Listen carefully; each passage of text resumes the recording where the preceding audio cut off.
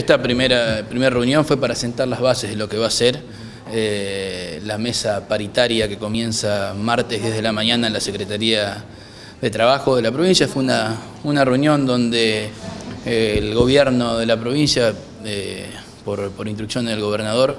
convocó a las entidades gremiales docentes para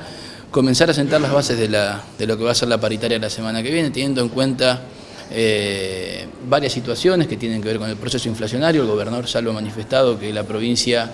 va a acompañar eh, todo lo que sean los procesos inflacionarios del año y, y seguramente la semana que viene se van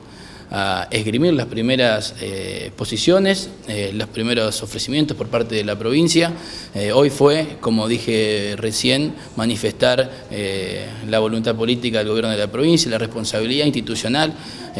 siendo Entre Ríos una de las primeras provincias que se sienta con las entidades docentes para empezar a encarar lo que consideramos va a ser un año complejo, de mucho debate, pero confiamos en, la mayor construcción de consensos de manera expeditiva para que nuestros chicos vuelvan a las clases lo más rápido